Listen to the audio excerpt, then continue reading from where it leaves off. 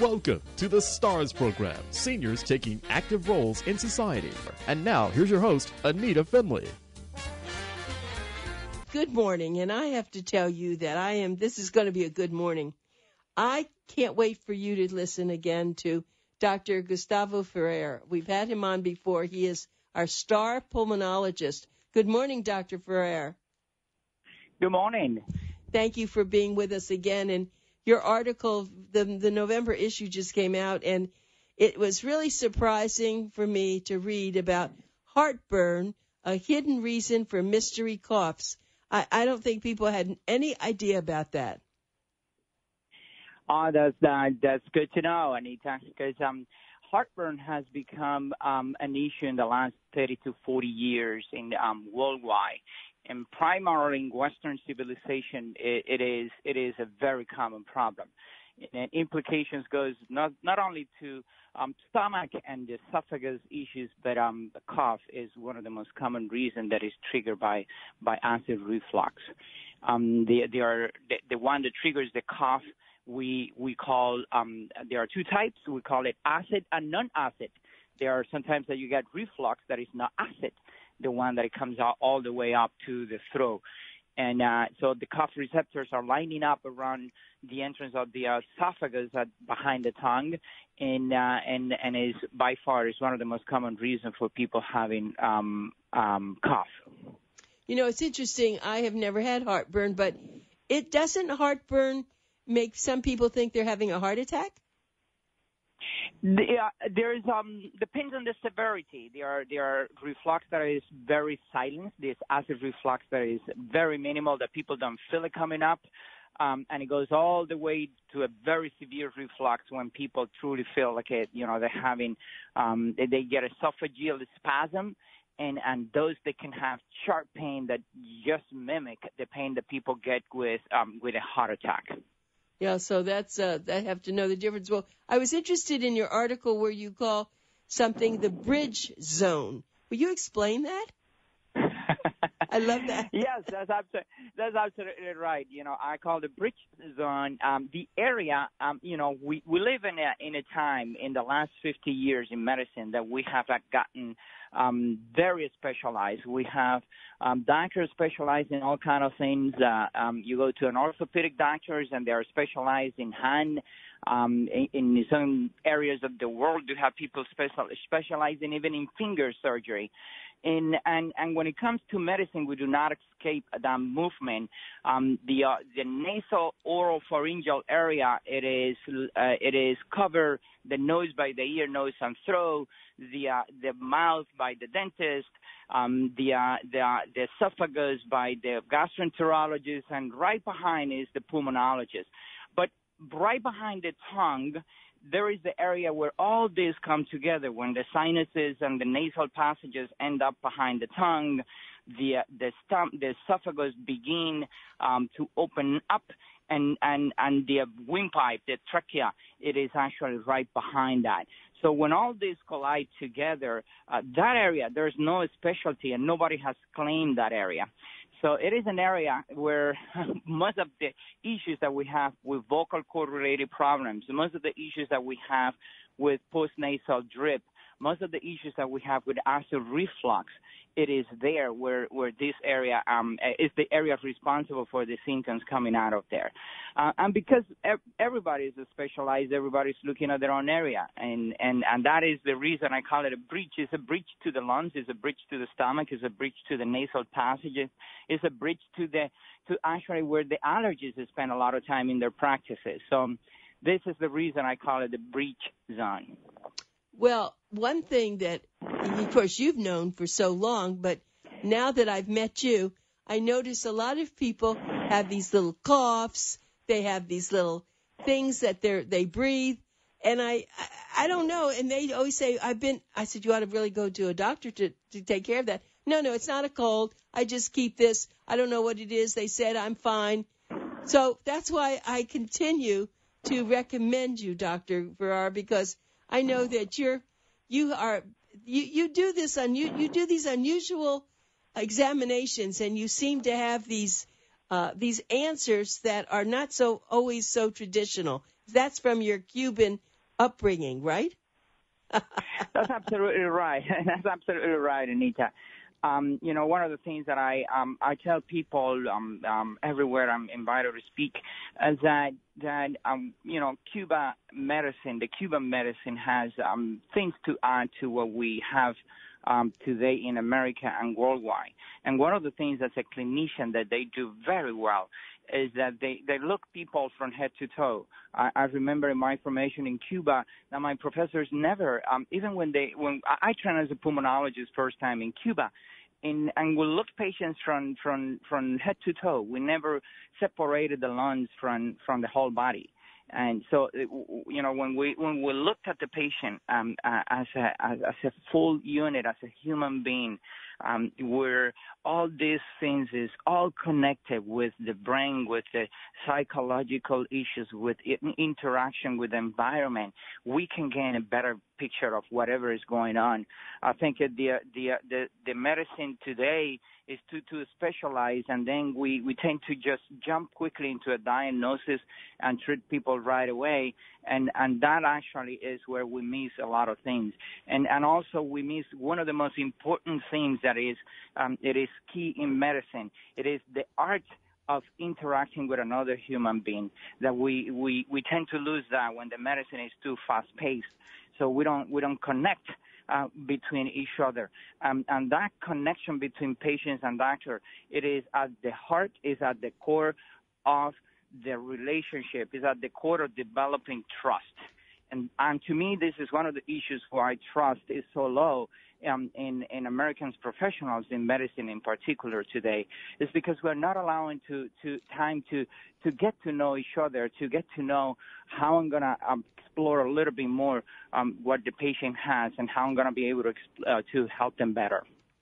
That's an excellent discussion, and I agree with you so much. But you somehow, I guess, were trained with that idea. But many doctors, I even know that there are doctors that when you go in, they're so busy recording your information on their computer, they never really look at you. Uh, you know that that is true. That is true. And I, I, you know, I, I practice um the same medicine, and my team and our team practice the same medicine. And I know that that is extremely hard to to comply with all the things, the regulatory things that we have, and to put the patient information in in, in the records and and so on. Uh, but I but I also know Anita that it's very easy to justify our actions. Um, I, I I don't think that we should ever contaminate the beauty of medicine um, by by the waves that we have of issues with medical records and legislations and issues and all that. It is too too uh, an important relationship between the patient and the doctor that shall that shall never be break or be broken by the, these kind of issues that we have outside um, the outside the the patient's um, the, the exam room. So I I I tend to um, you know, I have a wonderful team and my team of doctors, our team of doctors and nurses um, that work with us. We want to spend a little bit more time. And, and, and Anita, I'm going to tell you the following. Research after research shows that um, it's not the quantity of time that you got to spend, it is the quality. Um, research after research shows that people have perception that their doctor has to spend a lot of time when they just spend five minutes, you know, just listening and carefully paying attention to them rather than typing in, in the computer. Just five minutes and then you can do the rest on your notes. Um, this is actually a national movement today. Many people are doing this, in, and, I, and I think it's the right thing to do. You know why, Anita? Because tomorrow, uh, one of us, when we go to the doctor, um, I have been in doctor's offices with my family where I take my daughters and my kids and my my my parents and I do want the doctor to pay attention to me and to pay attention to what I said. And and and if I want them to do that, I think we all need to do it. You're great. I love hearing you speak about this. Let me tell little, people a little bit more about you. Your organization is called ICE, which stands for Intensive Care Experts, and it's Aventura Pulmonary, and uh, they do comprehensive pulmonary service. They have second opinions if you have advanced lung disease, uh, if you have a chronic cough, pulmonary hypertension, COPD, asthma, sleep apnea. The Aventura Pulmonary Institute's highly skilled board certified medical team is committed to bringing the most comprehensive pulmonary service with the highest quality of professionalism. Their award winning physicians are dedicated to honoring and serving the health interests of their patients. And you could hear Dr. This is Dr. Ferrer's organization, and he has five other, I believe you have five other pulmonologists, correct? Uh, we have and, four pulmonologists, and we have three pulmonary fellows. So it's um it's it's a very wonderful team that we big have. practice. Now appointments are available. Now get your pencils out. Remember, I tell everybody this is Pencil Talk Radio. Write this phone number down, please. Nine five four four eight two four seven four seven, and I'm going to do that again. Nine five four four eight two four seven four seven. If you want to get on their website it's called ICE, I-C-E, healthnet.com. They are located in Aventura. And let me just tell you, I don't care where you live, whether it's Palm Beach County, Broward, or Miami-Dade, when you have a serious lung problem, you need to go to the very best organization. And you should really go down there and take care of it and you'll be, you'll feel so much better. So I want to tell you something exciting. Dr.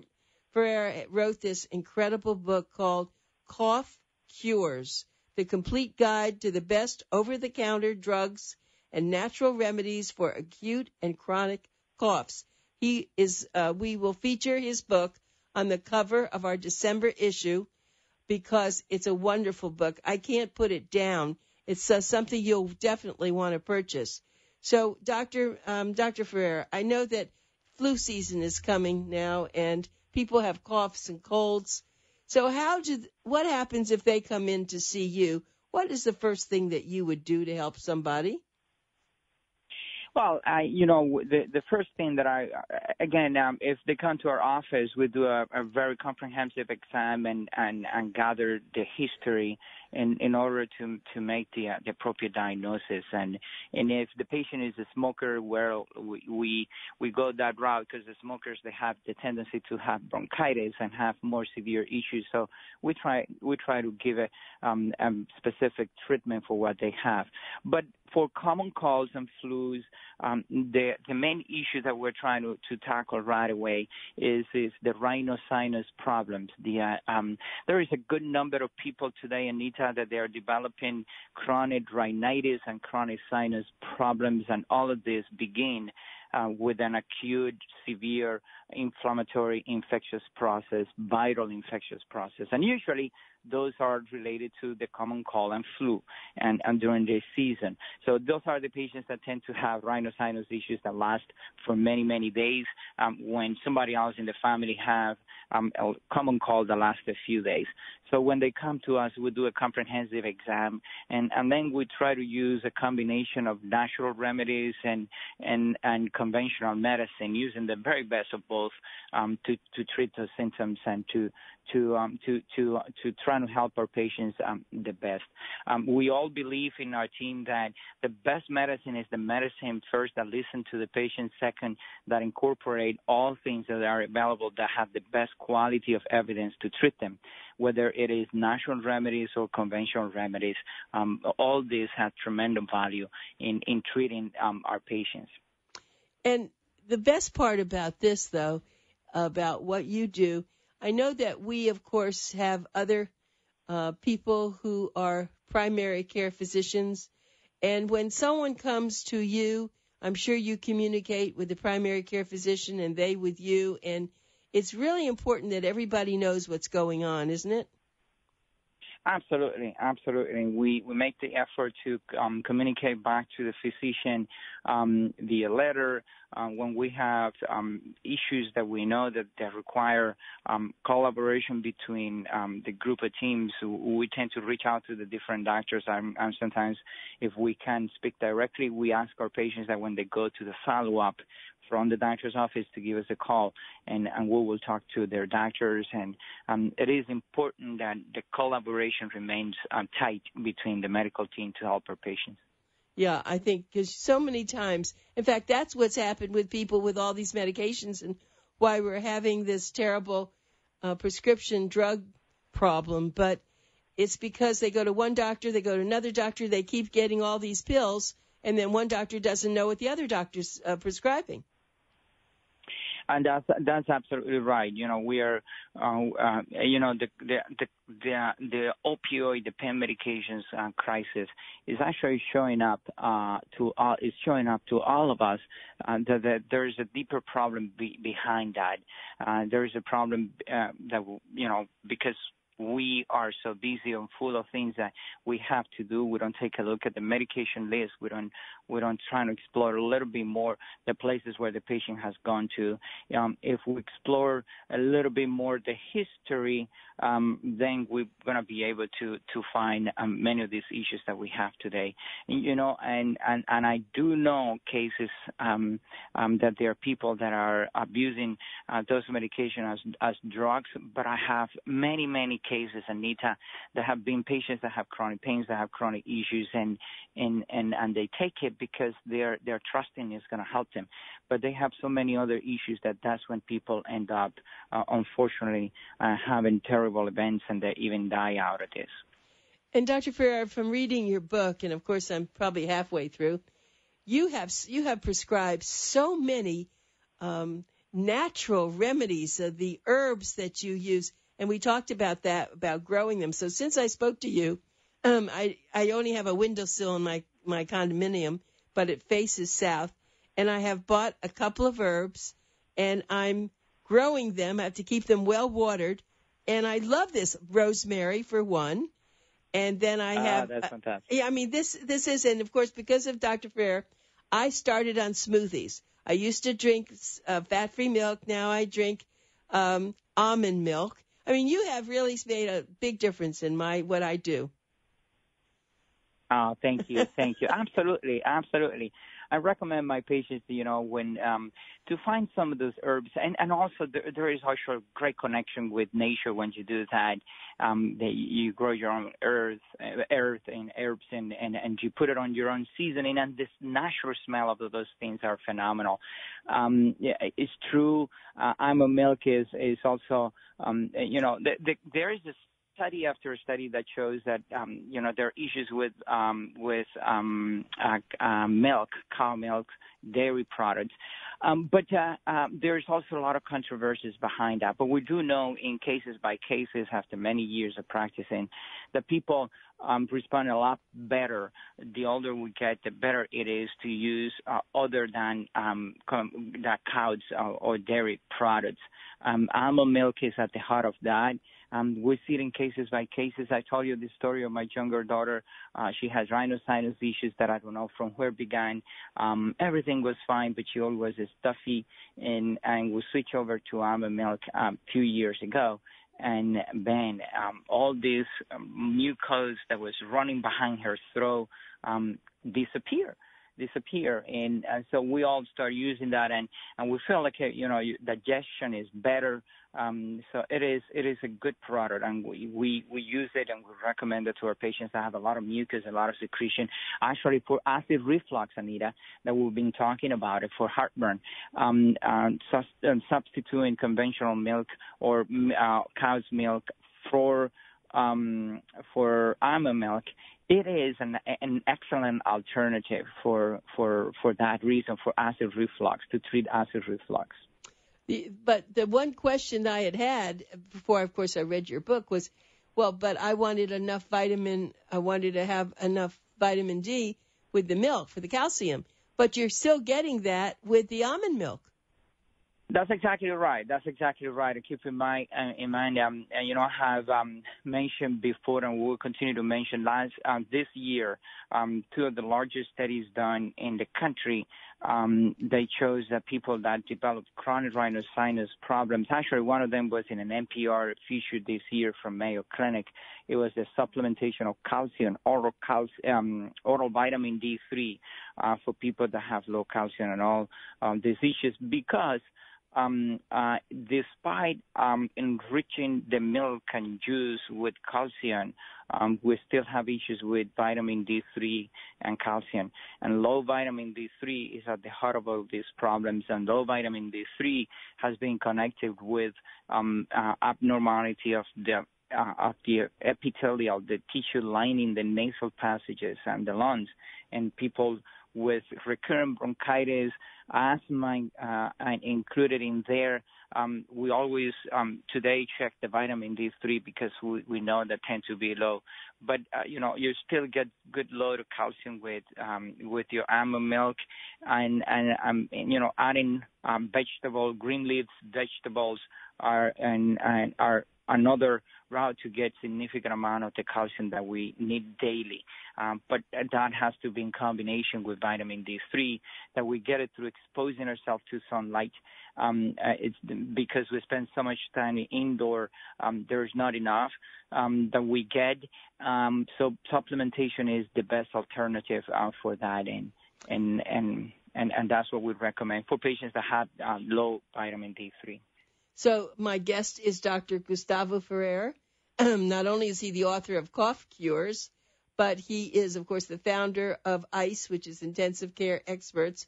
For an appointment to uh, go and talk with him or any of his other extraordinary pulmonologists, call 954 482 4747. Again, that's 482 4747, or go on the web to ICE, I-C-E, health net.com.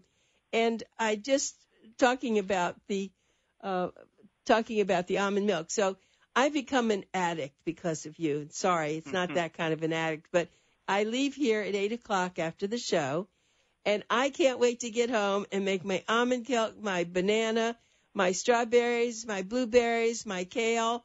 Um, I put flax seeds in. Now I'm putting a little garlic in thanks to my doctor, Dr. Mencia, who told me to do start doing that. And I mean, I can't wait to get that drink. The trouble is, I'm probably drinking too much of it. Isn't that fantastic? It's an extraordinary way to start your day. Um, it is excellent. It's um, highly nutritious. Uh, you have almost everything that you need there in terms of vitamins and minerals and and all kind of nutrients. So it is it is phenomenal. It is phenomenal and is, is something that I do recommend.